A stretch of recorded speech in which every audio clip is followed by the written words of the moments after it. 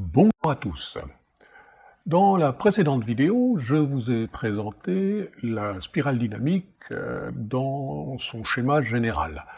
Je me suis attardé un petit peu sur chacune des vagues de développement, qu'on peut également appeler les mêmes. Hein. Pour ceux qui ne l'auraient pas vu cette vidéo, je rappelle qu'un même est un système de valeurs, un système de pensée, un système de représentation du monde. Euh, je vais reprendre euh, dans cette vidéo aussi un résumé avec euh, d'autres mots. Ensuite, je vous proposerai d'approfondir un tout petit peu le concept, mais cette fois-ci en l'observant à partir des évolutions sociopolitiques, donc des modes de gouvernement, des modes d'organisation sociale, euh, en parallèle à l'évolution culturelle et ce qui nous permettra euh, d'analyser un petit peu plus précisément la situation actuelle et les différents types de conflits de valeurs et d'opposition d'idées, de philosophie euh, qui sont en train de se dérouler en arrière-plan de la situation actuelle.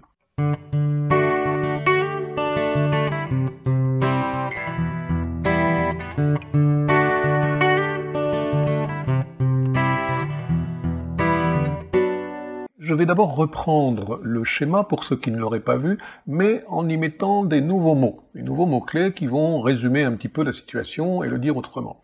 Donc, vous vous rappelez, hein, pour ceux qui l'ont vu, nous avons deux côtés, un côté avec les couleurs chaudes, qu'on peut caractériser comme étant euh, yang, donc plutôt active, plutôt expansive, dans le sens d'une volonté d'expansion, de possession, de compréhension, et de l'autre côté, des fonctionnements plus réceptifs, ce qu'on pourrait dire euh, yin, euh, et dont le but est de donner une certaine contenance, une matrice sociale, hein, et, également une contenance sous forme de mythes, de religions, de règles, de normes, euh, ou de, respect des émotions et de l'expression de chacun.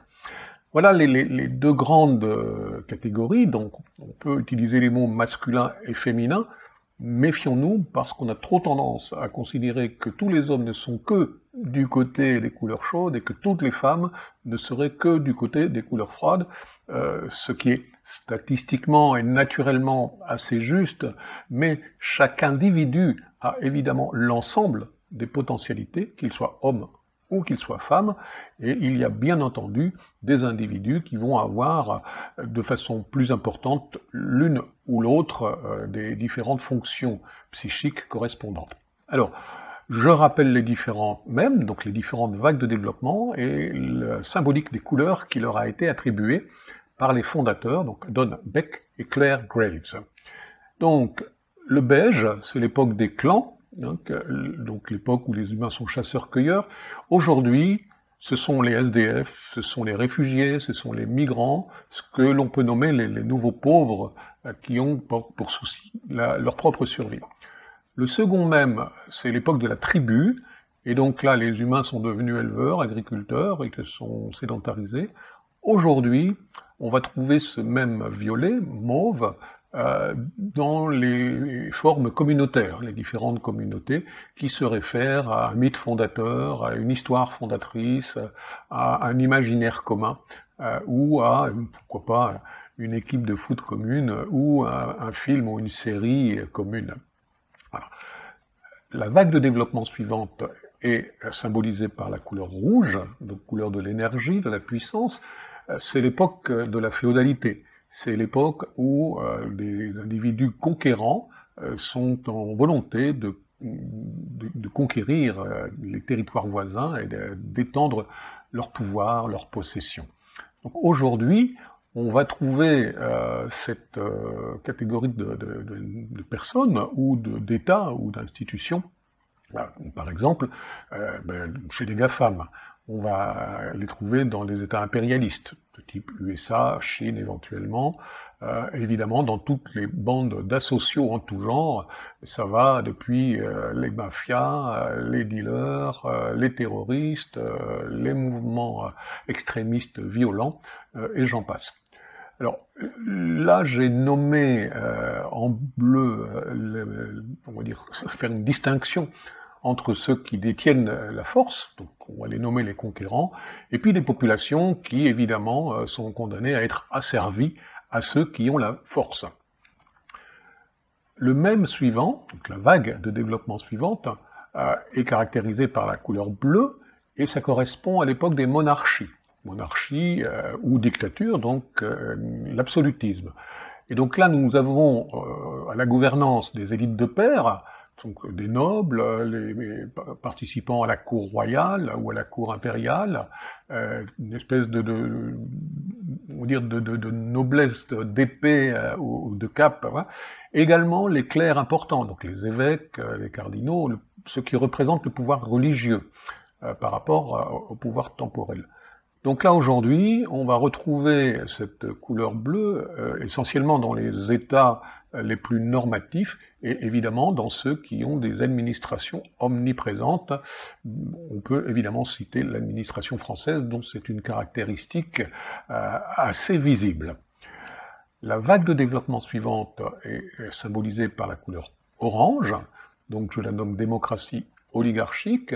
Là, euh, nous avons le pouvoir qui est assuré par un ensemble de, castes, euh, d'élites. Donc il y a les, sachants, il y a les possédants, il y a ceux qui sont élus, donc les, politiques, euh, et la population, elle, face à eux, est plutôt consacrée à la consommation, au bien-être matériel, au développement de, de, son équilibre financier et d'un minimum de confort, mais plutôt sur le plan matériel. Euh, donc, euh, on a donc évidemment euh, pas mal de réseaux d'influence, puisqu'il y a différentes élites, différentes castes qui ont intérêt à fonctionner entre elles, à se connecter entre elles, pour essayer de coordonner le fonctionnement de ce type de système-là. Donc il y a évidemment les élites médiatiques, enfin les castes médiatiques, les castes financières, les castes industrielles, commerciales, etc. Euh, le même suivant, la vague de développement suivante, donc euh, dans les sociétés occidentales apparaît dans les années 70 du XXe siècle, et en réaction contre les effets pervers euh, de la vague précédente. Et donc c'est la couleur verte, et la couleur verte, qui aujourd'hui est représentée par tous les milieux alternatifs, hein, les milieux artistiques, les milieux, les créatifs culturels d'une certaine façon, euh, donc également des milieux de travailleurs sociaux, d'enseignants, tout ça je l'ai vu. là, la volonté est que tous soient égaux en termes de, possibilités euh, et parfois même en termes de possession. Et là, la population, elle n'est plus euh, consommatrice ou asservie, elle se veut autonome. Évidemment, nous ne sommes pas encore dans des systèmes de gouvernement où le même vert est fortement représenté. Euh, et d'ailleurs, euh, même ceux qui politiquement ont choisi la couleur verte ont plutôt tendance à revenir à bleu ou à rouge pour imposer leurs idées et à peu laisser d'autonomie aux populations. ça, c'est un paradoxe ou un effet pervers euh, lié à d'autres éléments que nous verrons plus tard. Alors, rappelez-vous, nous avons de l'autre côté d'une barrière difficile à franchir, barrière de la complexité, barrière de la conscience, de nous-mêmes, donc le même jaune, qui est le premier à intégrer l'ensemble euh, des fonctions précédentes, des couleurs précédentes, qu'elles soient du côté actif ou du côté réceptif, et c'est cette euh, intégration de l'ensemble des éléments qui permet de rechercher l'équilibre, qui, qui, permet de tenter le meilleur ajustement en fonction de chaque situation. Et donc il s'agit d'appliquer euh, les, fonctions, euh, les possibilités de l'une ou l'autre des couleurs ou d'un mélange de ces couleurs-là en fonction de la situation que l'on rencontre. Donc euh, là, les populations, elles sont nécessairement interconnectées. Quant au système de gouvernement, ben, nous n'en voyons pas encore la trace. Peut-être d'une certaine façon, nous verrons ça dans la diapositive suivante. Alors, la population euh, jaune, euh, on va la trouver aujourd'hui dans des petites catégories, ce que l'on nomme euh, affectueusement les zèbres par exemple, ou les HPI, donc les hauts potentiels intellectuels. Bon, tous ne sont pas jaunes, mais ils ont potentiellement un cerveau qui leur permet d'avoir cette volonté de, de, compréhension systémique, globale des éléments que la vie leur propose. Le même suivant est donc la couleur turquoise, qu'on va, euh, que les créateurs de la spirale dynamique ont nommé le même intégral. Donc lui, il a également intégré l'ensemble euh, des données, euh, des, fonctions précédentes, sauf qu'il est beaucoup plus en mode réceptivité, donc plutôt du côté de la spiritualité, de la connexion à, un au-delà de nous plus subtil.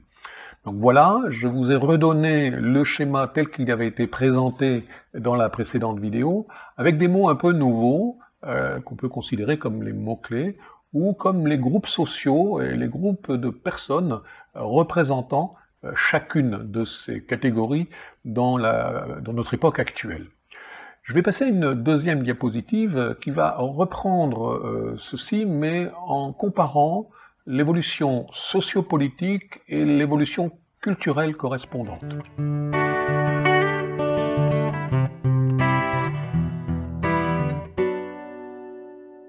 Donc, euh, on voit hein, sur le côté gauche de la diapositive que l'on passe euh, successivement d'un stade qu'on peut nommer inférieur à un stade supérieur, euh, sachant qu'il ne s'agit pas d'infériorité ou de supériorité des individus entre eux, mais plutôt d'échelons sur une échelle. C'est une échelle de croissance. Donc euh, il ne s'agit pas d'une hiérarchie de domination des uns sur les autres, mais d'une hiérarchisation de croissance. Hein. Donc, ce sont des étapes successives dans la croissance euh, des sociétés ou des individus d'ailleurs. Donc ben, en, mode euh, supérieur, donc en haut hein, plutôt, on, tend vers un idéal. Cet idéal, les anciens l'appelaient le ciel, mais pour, bon, pour les oranges, ça va être la compréhension. Notez que je l'écris euh, avec un trait d'union. Euh, compréhension, comprehendere. Il s'agit de prendre avec. Hein. Ce n'est pas seulement la compréhension intellectuelle. Il s'agit de prendre avec moi le monde, la situation. Euh, les Anglais, pour le même mot, utilisent understand, se tenir dessous. Il y a quelque chose d'intéressant, c'est pas seulement maîtriser la compréhension des choses intellectuellement, mais c'est se tenir en dessous des choses et être capable de les supporter et donc de comprendre un petit peu comment elles s'équilibrent pour pouvoir maintenir euh, ces, choses-là. Et donc le but visé, oui, bien entendu, c'est l'équilibre. Et dans cet idéal-là, il y a un rapport au spirituel. voilà, qu'on va trouver dans les couleurs froides, hein, sous, sous différentes formes, que je vais maintenant réaborder. Alors vous voyez apparaître euh, la succession des différentes étapes d'organisation sociopolitique. On les a vues précédemment, donc je vous les laisse euh, découvrir. Il y, a, des mots qui correspondent. Hein. Euh, simplement de petites différences. J'ai mis le mot capitalisme pour la couleur orange et collectivisme pour la couleur verte. donc les mots précédents sont, les mêmes que dans le schéma que je viens de vous présenter juste avant. Capitalisme, évidemment, on pourrait mettre la forme républicaine, mais il y a aussi des, monarchies qui sont dans ce même orange. Euh, de même, collectivisme, ça fait penser plus aux républiques démocratiques euh, qui sont souvent dictatoriales, euh, ou à la révolution russe, donc au communisme. bien, donc il y a là plutôt des mots entre absolutisme, capitalisme, collectivisme, qui évoque, euh, on va dire, des arrière-plans sociopolitiques, sachant que le mode de gouvernement euh, peut évidemment être un peu différent. Il peut y en avoir plusieurs. Alors parallèlement, on a donc l'évolution culturelle, donc qui est plutôt l'évolution euh, des individus ou de la majorité des individus. Et donc là, on reprend le code couleur. Hein, les mots sont inscrits dans la couleur des différentes vagues de développement que nous avons vues précédemment. Donc, euh, à l'époque clanique, eh bien, on est consacré euh, essentiellement à la matière. À l'époque de la tribu, euh, là, les mythes font leur apparition, hein, d'où le mot mythisme. à l'époque de la féodalité, eh bien, j'ai mis une culture expansionniste. L'absolutisme souhaite évidemment que les populations se conforment, d'où le mot conformisme à l'époque euh, orange, donc le capitalisme se met en place, eh bien, évidemment, on fait appel à la rationalité, à l'intellect. On aurait pu rajouter la gestion et, d'autres mots. Et puis, quand arrive le même vert, la vague de développement verte, euh, on est plus tourné vers l'hédonisme et avec un souci de pluralisme. Voilà. Et puis, de l'autre côté de la barrière de la complexité, on arrive à une vision holistique, intégrale, d'où les mots holisme et intégralisme, et euh, turquoise, alors là, ce n'est pas un mot en isme, j'ai mis entre guillemets euh, l'expression mission de vie.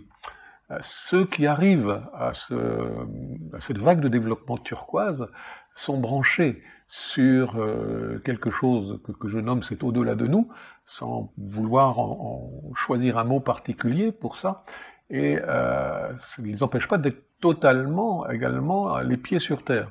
Donc euh, à ce moment-là, il y a la conscience que euh, notre âme, notre personnalité, euh, est dépositaire d'une tâche, d'une mission à effectuer sur cette planète. Assez peu d'individus sont arrivés à ce stade, mais c'est à cet endroit que les spiritualités et ceux qui sont les plus avancés intérieurement dans les religions donc je ne parle pas des, croyants ordinaires, de la, croyance infantile, la croyance naïve, je parle des, croyants qui cherchent, des croyants qui sont dans une, démarche intérieure de progrès, de développement personnel et qui essayent à la fois de comprendre le, texte, les attitudes, les dogmes, mais de les dépasser euh, pour se fier au symbolisme de ces textes, à la signification de ces textes et à la façon de les vivre concrètement dans leur quotidien. Donc voilà. Alors, je remets donc cette barrière hein, de la conscience, barrière euh, de la complexité, qui est celle à laquelle nous sommes confrontés à notre époque, et on va voir que euh, derrière cette barrière, euh, eh bien, apparaît évidemment le moteur de la conscience que je distingue de celui de la pulsion et de la pensée. Les six vagues de développement précédentes sont mues, sont activées par euh, deux que je nomme des moteurs, hein, donc les pulsions pour les trois premières vagues, euh, donc beige, euh, mauve et rouge, et la pensée pour les trois vagues suivantes. Donc la pensée cadrante pour la vague bleue, absolutiste, cadrante, contenante, contrôlante, choisissez le mot qui vous va. ensuite la pensée rationnelle, ou la pensée organisatrice, mais organisatrice intellectuellement pour le même orange, et la pensée sensible pour le même vert. Donc voilà les, deux moteurs principaux qui caractérisent euh, les six mêmes. On passe au moteur de la conscience, et c'est ce moteur-là, l'activation de ce moteur-là, de cette fonction psychique-là, devrais-je dire, qui va nous permettre de franchir la, fameuse barrière de, de, la complexité. Alors, c'est un petit peu là euh, que politiquement nous sommes en train d'avoir des gros soucis. Donc un certain nombre d'individus euh, avancent, donc on a de plus en plus d'individus qui arrivent à vert. Dans les sociétés occidentales, beaucoup sont évidemment euh, en orange ou en bleu, mais très très très petite minorité est arrivée à jaune ou à turquoise, évidemment. Et politiquement, c'est là où il y a un hiatus c'est qu'on peut noter dans la gestion de la crise sanitaire, par exemple, euh, qu'il y a une volonté de, globalisation, de gestion générale pour le monde entier des différentes procédures, protocoles euh, sanitaires ou de protection ou de sécurité à adopter. Et là, le hiatus euh, est le suivant. C'est-à-dire qu'on essaye, on prétend avoir une vision globaliste, donc en termes politiques, on pourrait appeler ça le fédéralisme. Hein. Il s'agit de fédérer l'ensemble des, nations, des peuples euh, sous une seule structure commune. Exemple des États fédéraux, hein, comme les États-Unis par exemple, qui ont un État fédéral et des États locaux, mais l'État fédéral ayant évidemment plus de puissance. Et euh, nous avons, correspondant plutôt au même jaune, à la vague de développement jaune, euh, les États confédérés, euh, confédération, confédération helvétique par exemple, dans laquelle chacun des cantons a euh, la possibilité d'avoir ses, propres votations, ses référendums, comme on dirait en France plutôt. et donc là, cette étape confédérale correspond également l'apparition de plus en plus de réseaux, donc là je ne parle pas des États, mais je parle des groupes humains, euh, donc d'associations, d'institutions, euh, euh, qui essayent de se coordonner, de créer des interactions de manière à avoir entre elles un, nouvel équilibre, une nouvelle façon de fonctionner. Donc là, on a déjà des exemples, hein, très concrètement, dans des organisations locales qui créent leur monnaie locale, qui créent leur système de distribution locale, de production et de distribution locale. Donc voilà quelques exemples très concrets qui sont en train d'arriver impulsés par ceux qui sont passés par le même verre. Voilà, donc l'enjeu, il est, il est là, c'est que ceux qui euh, sont passés par euh, cette vague de développement vert deviennent plutôt euh, jaunes et rationalisent les interactions et la façon de fonctionner ensemble. Alors, au niveau des États, eh bien, on constate que, euh, ou des unions d'États, l'Union européenne par exemple, ou euh, les organisations internationales comme l'OMS ou toutes les organisations internationales, cherchent à avoir une, une, action, voire une puissance plus importante que les nations. C'est vraiment ça qui est en train de se jouer. alors, on peut considérer que c'est un progrès, puisque c'est de l'autre côté de cette barrière de la conscience. Sauf que euh, ça n'est pas du tout adapté et ajusté à l'endroit où se trouvent les populations aujourd'hui. Euh, comme dans un couple, euh, il est très très difficile de marier pendant un certain temps, de, durer, d'être dans la, durabilité, si on est à des, des maturités et des stades de développement trop différents les uns des autres. Et donc aujourd'hui, c'est un idéal que de vouloir aboutir à un monde euh, qui soit gouverné globalement, euh, puisque les populations en sont encore loin. Un exemple récent, euh, je prends la guerre d'Irak, avec les couleurs rouge, bleu et orange. L'Irak était certes gouverné par un dictateur, Saddam Hussein, depuis une vingtaine d'années, euh, mais euh, ce dictateur était maître d'un pays qui était encore sous le mode féodal, voire même sous le mode tribal. Et donc, depuis des siècles, euh, eh bien, les territoires de, de l'Irak, d'ailleurs l'Irak est un pays qui a été créé après la Seconde Guerre mondiale, hein, donc auparavant c'était le, règne des tribus.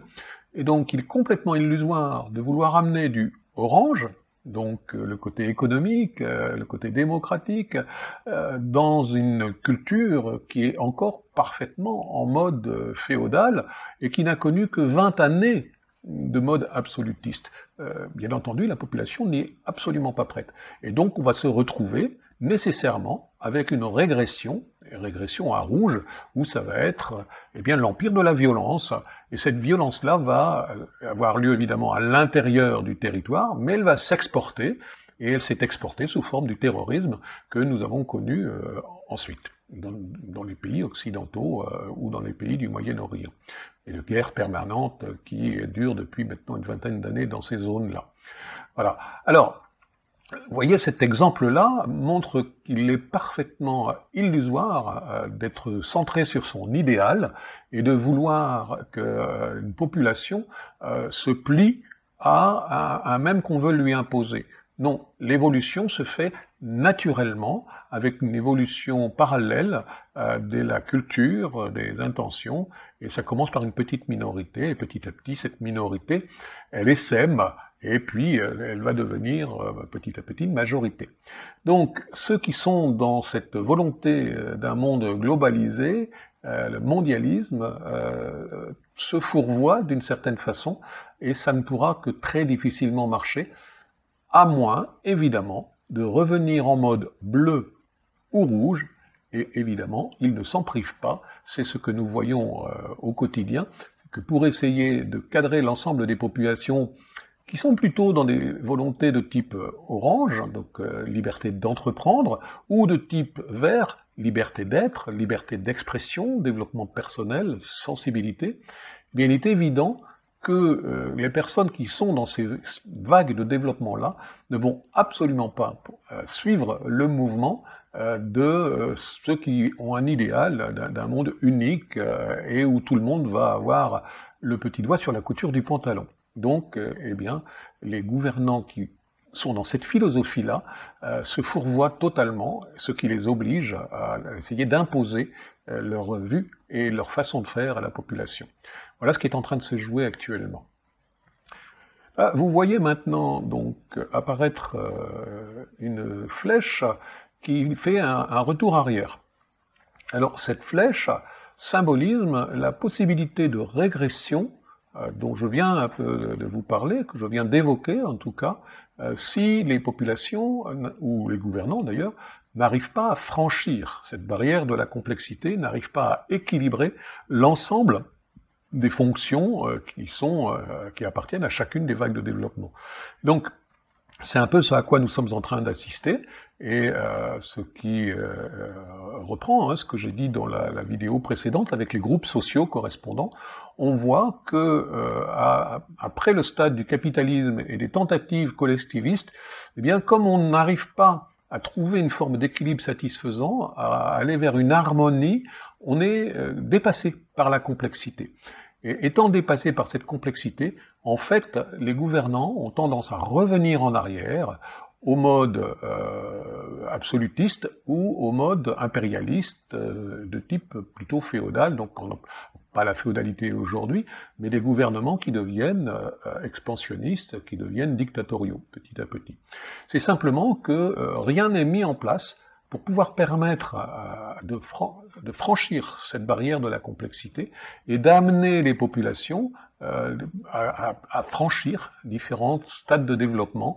Et donc là, c'est toute une politique d'éducation et un contenu des programmes d'éducation euh, qui est totalement à revoir, puisque aujourd'hui, les programmes d'éducation sont euh, massivement tournés vers la vague de développement orange, mental, intellectuel, et l'acquisition massive de connaissances euh, qui, au final, euh, ne serviront pas beaucoup euh, à moins de développer une spécialité donnée. Alors, cette régression-là, évidemment, c'est le piège qui est tendu à notre époque, et il suffit d'observer ce qui est en train de se dérouler depuis quelques années, voir que nous sommes plutôt confrontés à la régression que au progrès. Música